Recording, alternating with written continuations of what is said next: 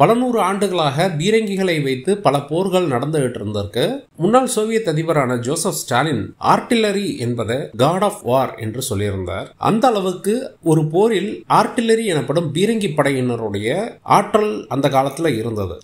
நம்ம சேனல்ல ஏற்கனவே பீரங்கியோட வரலாறையும் தற்போது நாம் பயன்படுத்திட்டு வரும் பல வகையான பீரங்கிகளான ஹவிட்சர் மார்டர் மற்றும் ஃபீல்ட் கன்னர் பத்தி ஒன்னு ஒன்றும் எவ்வாறு வேலை செய்யுது என்பதை தெளிவா கொடுத்திருந்தோம். இப்போ இந்த வீடியோல இந்த பீரங்கிகளின் குண்டுகளின் வகைகளை பற்றி தெளிவாக நாங்க கொடுத்திருக்கோம். ஆரம்ப கால குண்டுகள்ல இருந்து இப்பொழுது நடந்துகிட்டு வர யுக்ரைன் போர்ல அமெரிக்காவுடைய அதிநவீன கோடி ரூபாய் மதிப்புள்ள எக்ஸ்காலிபர் குண்டு வரை எவ்வாறு வேலை செய்யுது என்பதை தெளிவா கொடுத்திருக்கோம்.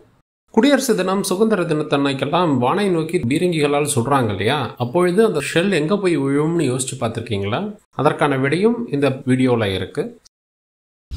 இதுதான் நீங்க இந்த சேனல்ல பார்க்குற முதல் வீடியோன்னா எங்களுடைய மற்ற வீடியோக்களையும் பாருங்க. ஆயுதங்கள் பற்றிய தொழில்நுட்ப தகவல்களை தமிழ்ல தெளிவா எல்லாருக்கும் புரியுற மாதிரி விளக்குறோம். உங்களுடைய ஆதரவை எங்களுக்கு கொடுங்க. இந்த சேனலை சப்ஸ்கிரைப் பண்ணிக்கோங்க.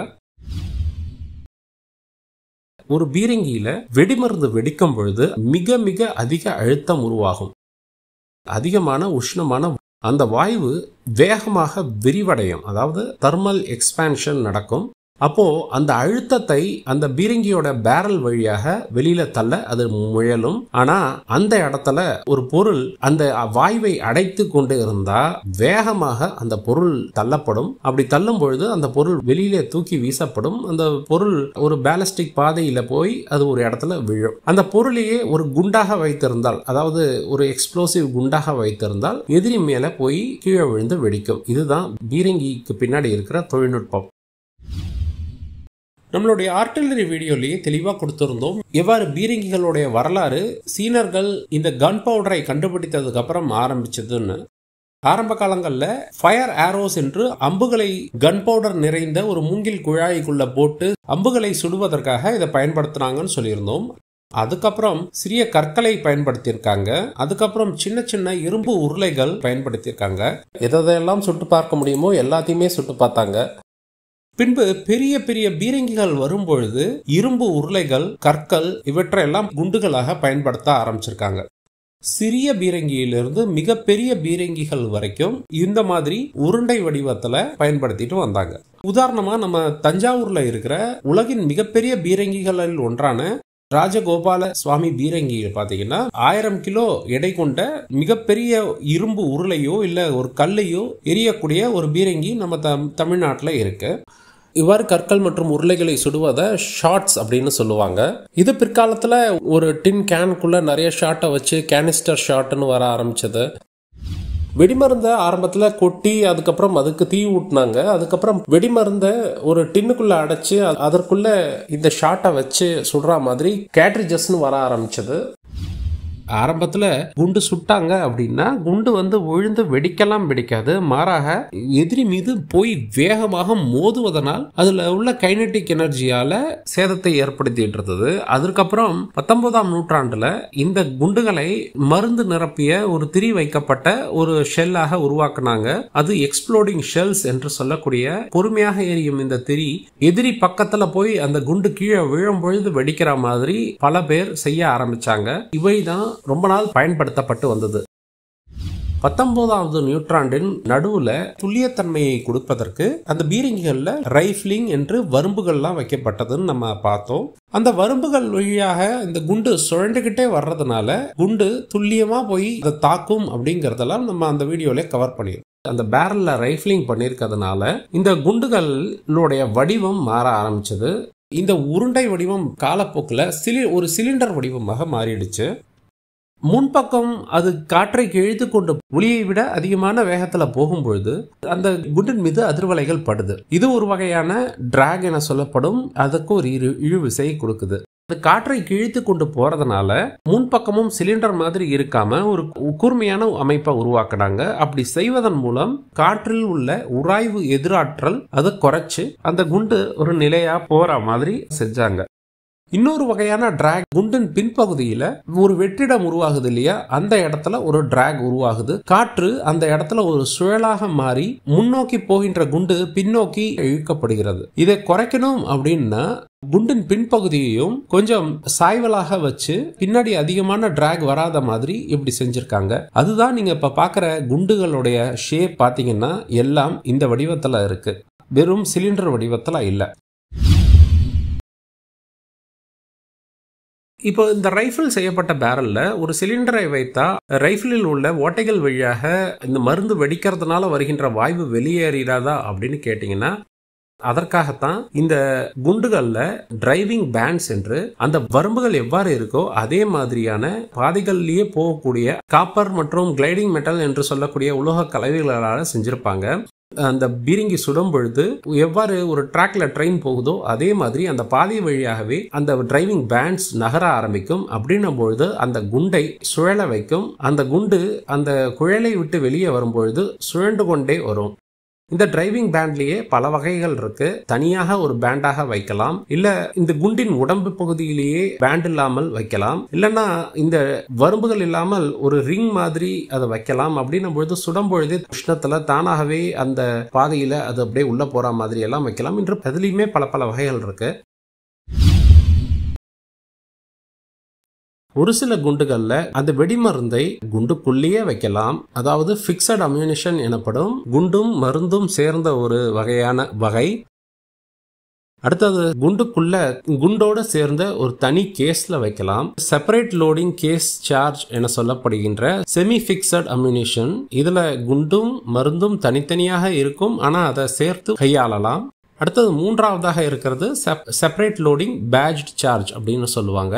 இதுல குண்டு தனியாகவும் அந்த பேரலுக்குள் வெடிக்கின்ற மருந்து தனியாகவும் இருக்கும். எவ்வளவு மருந்து வேணுமோ அந்த மருந்தை நம்ம அட்ஜஸ்ட் பண்ணி எவ்வளவு தூரம் போகணுமோ அதுக்கு தகுந்த மாதிரி அதை சுடுற மாதிரி இந்த கடைசி இரண்டு மெத்தட்லையும் நம்ம பண்ணலாம். சிறிய பீரங்கிகளில் ஃபிக்ஸட் அம்யூனிஷன் பயன்படுத்துவாங்க. ஓரளவு மீடியம் சைஸ் பீரங்கிகளில் ஃபீல்டு கன் நேவல் கன் போன்றவற்றிலெல்லாம் இந்த செப்பரேட் லோடிங் கேஸ் சார்ஜை பயன்படுத்தலாம். அதாவது செமி ஃபிக்ஸட் அம்யூனிஷன்ஸை அதிகமாக பயன்படுத்துவாங்க. பெரிய பெரிய நேவல் கன்களாக இருக்கட்டும் பெரிய பெரிய ஹவிட்சர்களாக இருக்கட்டும் இவற்றிலெல்லாம் இந்த குண்டை எரிவதற்கான வெடி ஆற்றலை உருவாக்கக்கூடிய வேதிப்பொருட்களை தனியாக அதற்குள்ள வச்சு சுடுவாங்க. பேரலுக்குள் அதிகமான வெடி ஆற்றலை ஏற்படுத்த அதிகமாக வெடிமருந்து வைத்தால் அந்த குண்டு அதிக தூரம் போகும். இல்லைன்னா அந்த பேரலுடைய லென்த் எனப்படும் நீளத்தை அதிகரித்தாலும் அதிக நேரம் அந்த ஆற்றல் அந்த குண்டு மேல படுறதுனால குண்டோட வேகம் மற்றும் அதனுடைய வரம்பு அதிகமா இருக்கும். ஆனா இதெல்லாம் ஓரளவு தான் செய்ய முடியும். பேரலுக்குள்ள அதிகமான மருந்து வச்சு திணிச்சுக்கிட்டே இருந்தா பேரலே வெடிச்சிடும். அப்படின்னும் பொழுது ஏவப்பட்ட குண்டுக்கு வருகின்ற எதிராற்றலை குறைப்பதன் மூலம் அதனுடைய வரம்பை அதிகரிக்க முயலுவாங்க. இந்த குண்டு போகும்பொழுது அதை எதிர்கொள்ளும் எதிராற்றல்னு பார்த்தீங்கன்னா புவியீர்ப்பு விசை அதை பிடிச்சி இழுக்குது. அதனால பூமியில வந்து அந்த குண்டு சீக்கிரம் விழுந்துருது. மற்றும் காற்றில் ஏற்படுகின்ற உராய்வு. இந்த ரெண்டு ஃபோர்ஸையும் எதிர்கொள்ள ஒரு சில வழிகள் இருக்கு. அது என்னென்னு பார்ப்போம். ஒரு குண்டு இன்டைரக்ட் மெத்தட்ல மேல் நோக்கி சுடப்பட்டது அப்படின்னா அது ஒரு குறிப்பிட்ட உயரம் போயிட்டே இருக்கும் பொழுது பூமியோட புவியீர்ப்பு விசை அதை பிடிச்சி இழுக்கிறதுனால திருப்பி தரையில வந்து அந்த விழுது. அந்த பேரலை விட்டு வந்ததுக்கு அப்புறம் அந்த குண்டுல எந்த ஒரு உந்து விசை எனப்படும் த்ரஸ்ட்டுமே இருக்காது. அந்த குண்டு வந்த வேகத்துல அந்த இனர்ஷியால மேல போய் கீழே வந்து விழுது. இப்போ ஒருவேளை அந்த குண்டுக்குள்ள ஒரு ராக்கெட்டை வச்சா என்ன ஆகும்? அது ஒரு உந்து விசையை உருவாக்கும் இல்லையா? அதாவது ஒரு த்ரஸ்ட் ஃபோர்ஸை கிரியேட் பண்ணும் இல்லையா? அந்த மாதிரி எவ்வாறு ஒரு ஒரு ராக்கெட் ப்ரொப்பல்டு கிரனைட்ல ராக்கெட்டை பயன்படுத்துகின்றோமோ அதே மாதிரி ஒரு சிறிய ராக்கெட் மோட்டரை இந்த வகை குண்டுகளில் இணைப்பதன் மூலம் அந்த ராக்கெட் அந்த குண்டுகளை இன்னும் தொலைதூரத்திற்கு எடுத்து செல்ல முடியும். இதுதான் ராக்கெட் அசிஸ்டட் ப்ரொஜெக்டைல் அப்படின்னு சொல்லுவாங்க. இந்த ராக்கெட் அசிஸ்டட் ப்ரொஜெக்டைலோடைய அட்வான்டேஜ் என்னன்னா ஒரு சாதாரண குண்டால போகின்ற தூரத்தை விட அதிகமான தூரத்திற்கு போக முடியும். ஆனா இதுல டிஸ்அட்வான்டேஜ்னு பாத்தீங்கன்னா இந்த குண்டுக்குள்ளேயே ராக்கெட்டுக்கான சாலிட் எரிபொருளும் வைப்பதனால இந்த குண்டுக்குள்ள இருக்கிற வெடிப்பு ஆற்றல் தரக்கூடிய வெடிப்பொருள் கம்மியாக இருக்கும். அப்படின்னும் போது அதிக தூரம் பயணிச்சு வந்து எதிரியை தாக்க முடிஞ்சாலும் குண்டில் உள்ள வெடிப்பொருள் கம்மியாக இருப்பதனால் அதோடைய ஆற்றல் கம்மியாகத்தான் இருக்கும்.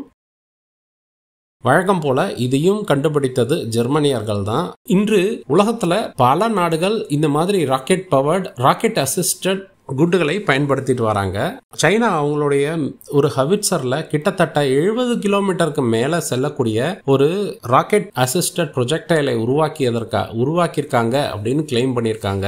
அதை பாகிஸ்தானுக்கும் கொடுத்துருக்கிறதா அவங்க சொல்லியிருக்காங்க.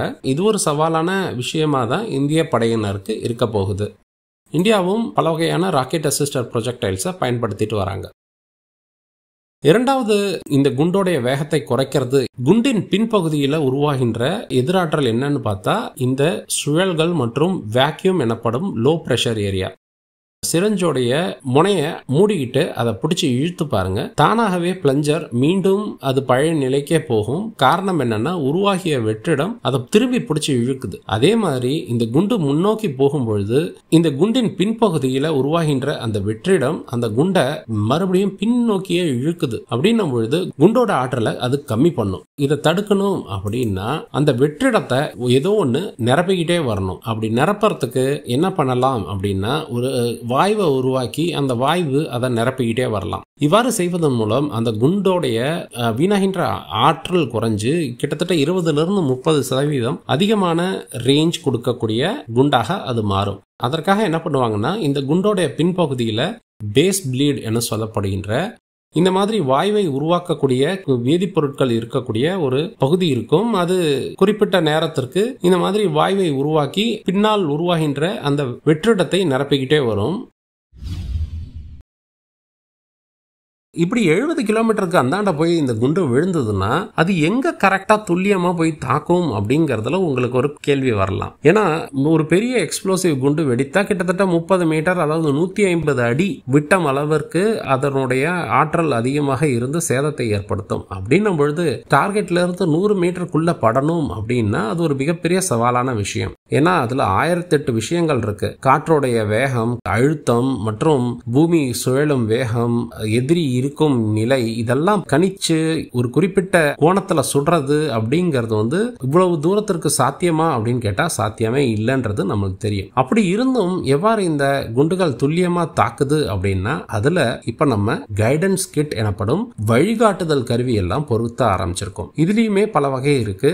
லேசரை வைத்து வழிகாட்டக்கூடிய அமைப்பாக இருக்கலாம் அல்லது ஜிபிஎஸ் மற்றும் இனர்ஷியல் நேவிகேஷன் பயன்படுத்துகின்ற குண்டுகளாக இருக்கலாம். பெரும்பாலும் ஃபின்ஸ் எனப்படும் இறக்கைகள் இருக்கும். எவ்வாறு ஒரு கிளைடர் பறக்குதோ அதே மாதிரி குண்டு மேல போனதுக்கு அப்புறம் அதனுடைய ரெக்கைகள் விரிஞ்சு கிளைட் பண்ணி ரொம்ப தூரம் போய் துல்லியமா டார்கெட்டை தாக்கும். இந்த குண்டுகளுக்குள்ளேயே சின்ன சின்ன எலக்ட்ரிக்கல் மோட்டார்கள் இருக்கும். அந்த ரெக்கைகளை அழைப்பதற்கு மற்றும் பல வகையான எலக்ட்ரானிக் கருவிகள் அதற்கு தேவையான மின்சார பேட்டரிகள் என்று அனைத்து உபகரணங்களும் இருக்கும். குண்டு சுடும் பொழுது உருவாகின்ற அழுத்தத்தை தாங்கக்கூடிய அளவிற்கு அதை செஞ்சிருப்பாங்க. அதனால இதோடைய விலை ரொம்ப ரொம்ப அதிகம். உதாரணமா ரஷ்ய நிலைகளை அழிப்பதற்காக யுக்ரைனுக்கு அமெரிக்கா இந்த வகை ஆயுதங்களை கொடுத்துட்டு வராங்க. இந்த ஒரு ஒரு குண்டின் விலை கிட்டத்தட்ட எழுபதாயிரம் டாலர் டாலர் வரை இருக்கும் அப்படின்னு சொல்லியிருக்காங்க. ஆமாங்க எண்பது லட்சத்திலிருந்து ஒரு கோடி ரூபாய் வரை இருக்கும் அப்படின்னு கணக்கு பண்ணியிருக்காங்க. ஒரு குண்டின் விலை ஒரு கோடி அப்படின்னா நீங்க யோசிச்சுக்கோங்க. அது எந்த அளவுக்கு சக்தி வாய்ந்த ஒரு குண்டாக இருக்கும் அப்படிங்கிறத நீங்க யோசிச்சுக்கோங்க. நடந்துட்டு வர ரஷ்யா யுக்ரைன் போர்ல ரஷ்யாவை பொறுத்த வரைக்கும் அவங்க இந்த கிருஷ்ணபோலை பயன்படுத்தி யுக்ரைனிய நிலைகளை தாக்கிட்டு வராங்க. யுக்ரைனை பொறுத்த வரைக்கும் அமெரிக்காவிடம் இருந்து வாங்கிய எக்ஸ்காலிபர் ஷெல்லுகளை அதிகமாக பயன்படுத்திட்டு வராங்க. எக்ஸ்காலிபரை வைத்து ரஷ்யாவை அதிகமாக சேதப்படுத்த முடியுது அப்படின்னு அவங்க சொல்லிட்டு வராங்க.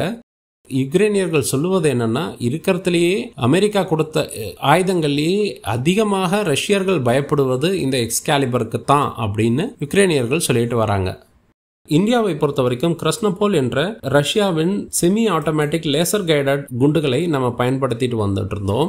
இது வந்து ஒரு செமி ஆக்டிவ் சிஸ்டம் அதாவது ஃபார்வர்ட் அப்சர்வர் எதிரி நிலையில கிட்டக்க இருந்து இன்ஃப்ராரெட் லேசரை கொண்டு டார்கெட்டை ஒளிரூட்டுவார். அந்த லேசர் ஒளி எங்க இருக்குன்றத தேடிக்கிட்டே போய் இந்த குண்டு அந்த டார்கெட் மேல விழும். இந்த குண்டுல உள்ள சின்ன சின்ன ரெக்கைகளை அசைப்பதன் மூலம் அந்த குண்டு அதன் திசையை மாற்றி அந்த டார்கெட்டை தாக்கும். இந்த சிஸ்டத்தை நம்ம மலைகளில் பயன்படுத்தும் பொழுது அந்த அளவுக்கு எஃபெக்டிவ்னஸ் ஆரம்பத்தில் இல்லை. அதுக்கப்புறம் ரஷ்யா சில மாறுதல்களை செய்து நமக்கு கொடுத்தாங்க. அதுக்கப்புறம் இந்த சிஸ்டங்கள் பயன்படுத்தி இன்றளவும் பயன்படுத்தி நடத்திட்டு வரோம். ஆனா நம்ம இந்தியா எம் ட்ரிபிள் செவன் ஹவிட்சருடன் சேர்ந்து India M nine eight two Excalibur ரவுண்டுகளையும் சேர்த்து வாங்கணும். அப்படின்னும் பொழுது இந்த கர்ஷ்னபோலை கொஞ்சம் கொஞ்சமாக பணியிலிருந்து ஓய்வு பெற வச்சுட்டு எதிர்காலத்துல நம்மளுடைய இந்த எக்ஸ்காலிபரை தான் அதிகமாக பயன்படுத்த போறோம்.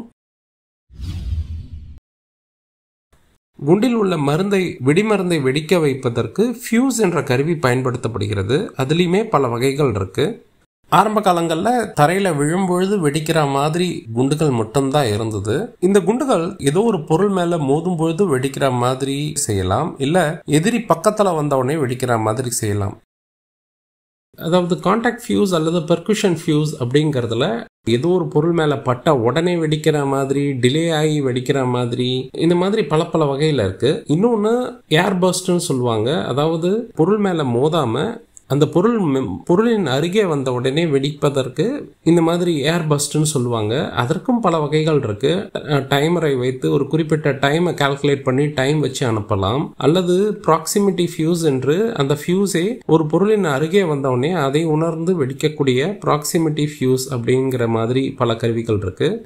மெக்கானிக்கல் டைம் மற்றும் எலக்ட்ரானிக்கல் டைம் என்று பல வகையான ஃபியூ டைமிங் ஃபியூசஸ்லாம் பயன்படுத்திட்டு வராங்க. பெரும்பாலும் இந்த முன்பகுதியில் ஐபோல்ட் லிஃப்டிங் பிளக் என்று ஒரு ஸ்க்ரூ டைப்பில் ஒரு பிளக் கொடுத்துருப்பாங்க. அதை கழட்டிட்டு தான் அதுக்குள்ள ஃபியூஸை மாட்டலாம். இந்த ஷெல் எல்லாம் கிரேனை வைத்து தூக்குவதற்கு இதை பயன்படுத்துவாங்க. கடைசியில் சுடும் பொழுது இதை கழட்டிட்டு இதில் ஃபியூஸை இதில் பொருத்துவாங்க. இப்போ ஒருவேளை கைடன்ஸ் கருவிகள்லாம் பயன்படுத்துகிறாங்கன்னா அதுக்கு முன்னாடி ஒரு கேப் மாதிரி வைத்து அதை அந்த கண்ணாடி பாகங்கள் எல்லாம் கவர் பண்ணியிருப்பாங்க. இந்த குண்டுகள்லையுமே தாக்குதலுக்கு பயன்படுத்துகின்ற குண்டுகளாக இருக்கட்டும் அல்லது தாக்குதல் இல்லாத மற்ற காரணங்களுக்காக பயன்படுத்தக்கூடிய குண்டுகள்னு பல வகைகள் இருக்கு. அவையெல்லாம் என்னென்னு இப்ப பார்ப்போம் எதிரிகளுடைய கவசங்கள் கவச வாகனங்கள் பங்கர்கள் இதற்றெல்லாம் அழிப்பதற்கு ஆர்மர் பியர்சிங் என்று தடிமனான உலோகங்களால் ஆன பல வகையான ஷெல்ஸ் இருக்கு. இதுல பாத்தீங்கன்னா ஆர்மர் பியர்சிங்னு இருக்கு. அதன் முனைப்பகுதியில பேலஸ்டிக் கேப் என்று என்று பல பல வகைகள் இருக்கு. ஆர்மர் பியர்சிங்கோட ஹை எக்ஸ்ப்ளோசிவ்ஸையும் சேர்த்து இருக்கிற மாதிரியும் அதாவது ஒரு ஓட்டை போட்டுக்கொண்டு உள்ளே சென்று வெடிக்கக்கூடிய ஆர்மர் பியர்சிங் ஹை எக்ஸ்ப்ளோசிவ் குண்டுகள் என்று சேர்ந்ததும் இருக்கு. அடுத்தது நான் கைனட்டிக் எனர்ஜியாக ஹை எக்ஸ்ப்ளோசிவ் செல்ஸ் என்று மிக அதிக வெடிப்பு ஆற்றலுடன் கூடிய பல வகையான ஷெல் இருக்கு. இந்த வெடிமருந்துகள் வெடிக்கும் பொழுது வெடிமருந்துகள் இருக்கும் கேசிங்கும் சேர்ந்து வெடிப்பதனால் அதுவும் காற்றுல வீசப்படும் அதுவும் அதிக சேதத்தை ஏற்படுத்தும். பல வகையான வேதிப்பொருட்கள் இதற்காக பயன்படுத்திட்டு வராங்க. இந்த ஷெல் ராக்கெட் அசிஸ்டட் ப்ரொஜெக்டெல்லா இல்லை சாதாரண ப்ரொஜெக்டெல்லா என்பதை பொறுத்து எந்த அளவிற்கு வெடிமருந்து அதில் இருக்கும் அப்படிங்கிறது தீர்மானிக்கப்படுகிறது. Rocket assisted projectile base bleed projectile எல்லாம் கம்மியான வெடிமருந்து இருக்கும். நார்மலான குண்டுகளில் அதிகமான வெடிமருந்துகள் இருக்கும். இன்னும் பல பல வித்தியாசமான ஷெல்கள் எல்லாம் பயன்படுத்துறாங்க. மைன் ஷெல் என்று ஒரு குண்டு பறந்துகிட்டே கன்னி வெடிகளை ஒரு குறிப்பிட்ட நிலப்பரப்புல தூவுற மாதிரி எல்லாம் வெடிகள் இருக்கு.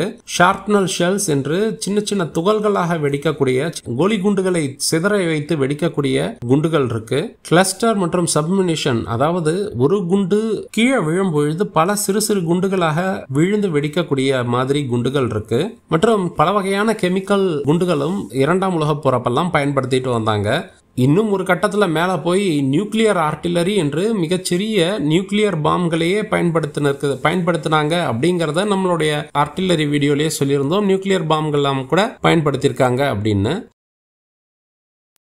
இதெல்லாம் பார்த்தீங்கன்னா வெடிப்பு ஆற்றல் உள்ள ஷெல்ஸ் ஆனால் ஒரு சில ஷெல் ட்ரைனிங் அப்போ இல்லை மற்ற வேற காரணங்களுக்காக வெடிப்பு ஆற்றல் இல்லாமல் மற்ற காரணங்களுக்காக பயன்படுத்தக்கூடிய பல வகையான குண்டுகள் இருக்கு. ஸ்மோக் எனப்படும் அதிகமான புகையை ஏற்படுத்தி இருக்கும் இடத்தை மறைக்கக்கூடிய ஸ்மோக் பாம்ஸ் என்று குண்டுகள் இருக்கும். இலிமினேஷன் என்று வானத்தில் பிரகாசமான ஒளியை கொடுத்து எதிரி இருக்கும் ஒரு இலக்கை ஒளிரூட்டக்கூடிய எலிமினேஷன் ரவுண்ட்ஸ் பல வகையான குண்டுகள் இருக்கு. எந்த இடத்துல போய் விழுது அப்படிங்கிறத பார்க்கக்கூடிய அளவிற்கு ட்ரேசர் ரவுண்டுன்னு இருக்கு. மற்றும் இன்னும் பல வகையான குண்டுகள் இருக்கு. சுதந்திர தினம் குடியரசு தினத்தப்போ இருபத்தி ஒரு க இருபத்தி ஒரு பீரங்கிகள் முழங்க ராணுவ மரியாதை செலுத்தப்படுகிறது இல்லையா? அப்பொழுது பயன்படுத்துகின்ற இந்த ரவுண்டுகளுக்கு பேர் பிளாங்க்ஸ் அப்படின்னு சொல்லுவாங்க. செரிமோனியல் பிளாங்க்ஸ் அப்படின்னு சொல்லுவாங்க. இவற்றில் வெறும் மருந்து தான் இருக்கும். அப்படி அப்படின்னும் பொழுது இதை சுடும் பொழுது எந்த ஒரு ப்ரொஜெக்டைல் எனப்படும் தூக்கி எறியக்கூடிய எரிகணையும் இருக்காது. ஸோ ஒரு காட்சிக்காக காட்சிக்காக தான் இதை செய்கிறாங்க தவிர இதில் இதில் எந்த ஒரு எ- எந்த ஒரு இலக்கையும் நோக்கி இதை சுட மாட்டாங்க.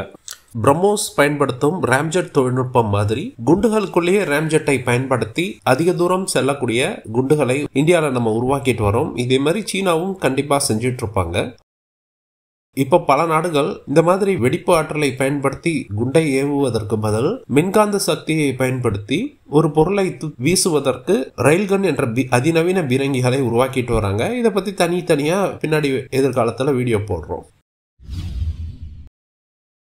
சாதாரண லட்சுமி வெடிகள் வெடிப்பதற்கே நம்ம காதுகள் வலிக்கிறது இல்லையா? இவ்வாறு அதிகமான மருந்துகளை வைத்து பீரங்கிகள் சுடும் பொழுது நமது ராணுவ வீரர்களின் காதுகள்ல அதிகமான சேதம் ஏற்படும். ஒரு ஒரு குண்டையும் கையாளுவதாலையும் இந்த அழுத்தமான வாயு வெளியேறுவதாலையும் இந்த சத்தத்தாலையும் பல வகையான உடல் ரீதியான பிரச்சனைகளை நம்ம ராணுவ வீரர்கள் நாட்டிற்காக பணி செய்யும் பொழுது அவங்க அனுபவிக்கிறாங்க.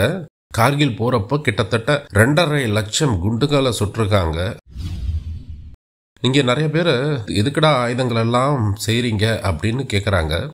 யோசிச்சு பாருங்க. நமது அன்றைய பாரத பிரதமர் பாகிஸ்தானோட நல்லுறவு வேணும்னு சொல்லி காஷ்மீர்ல இருந்து பாகிஸ்தானுக்கு பஸ்லயே பயணம் செஞ்சார். அதே நேரத்துல இந்தியாவின் முதுகுல குத்துறா மாதிரி தீவிரவாதிகளையும் பாகிஸ்தான் ராணுவ வீரர்களையும் கார்கில் மலைப்பகுதியில பாகிஸ்தான் ராணுவம் அனுப்பிச்சு வச்சது. அப்புறம் கார்கில் போர் நடந்தது. கார்கில் போர்ல நம்ம இந்த பீரங்கிகளை பயன்படுத்தினோம்னு சொல்லியிருந்தோம். இவ்வாறு நம்ம நல்லது நினைச்சாலும் நம்ம எதிரிகள் நல்லது நினைக்கணும் இல்லையா? இந்தியாவிற்கு அடுத்த நாட்டு மண்ணு மேல ஒரு துளியும் ஆசை இல்லை. இன்ஃபேக்ட் சுதந்திரத்துக்கு அப்புறம் எந்த ஒரு நாட்டோடைய ஒரு கிலோமீட்டரையும் நம்ம ஆக்கிரமிப்பு பண்ணல. நம்ம தான் அடுத்த நாட்டிற்கு கொடுத்துருக்கோம். அப்படி இருந்தும் இந்தியாவை வெறுக்கும் நமது அண்டை அண்டைய நாடுகள் எல்லாம் இருக்கு. அவங்கள்ட்ட இருந்து நம்மளை பாதுகாத்துக்கொள்ள நமக்கு இந்த பீரங்கிகள்லாம் தேவை. நம்ம ஆர்டிலரியோட அடுத்த வீடியோல நம்ம பயன்படுத்துகின்ற ஹவிட்சர்களை பற்றி தெளிவாக கொடுக்குறோம். ஹவிட்சரும் மார்ட்டரும் இன்டைரக்ட் ஃபயரிங்க்கு பயன்படுத்துகிறாங்க ஃபீல்டு கண்ணை இன்டைரக்ட் ஃபயருக்கும் பயன்படுத்தலாம் டைரக்ட் ஃபயருக்கும் பயன்படுத்தலாம். ஆனால் டேங்க் எனப்படும் பீரங்கிகள் பெரும்பாலும் டைரக்ட் ஃபயரிங்க்கு பயன்படுத்துறதுனால அதனுடைய பயன்பாடு கொஞ்சம் வித்தியாசமாக இருப்பதனால அதனுடைய வடிவம் மற்றும் அதனுடைய செயல்பாடு கொஞ்சம் வித்தியாசமாக இருக்கும். அதனால் அதை தனியாக ஒரு வீடியோவில் போடுறோம். நாங்கள் இந்த வீடியோக்களில் யூஸ் பண்ணுற கிராஃபிக்ஸ் மற்றும் இன்ஃபர்மேஷன் ஸ்லைடர்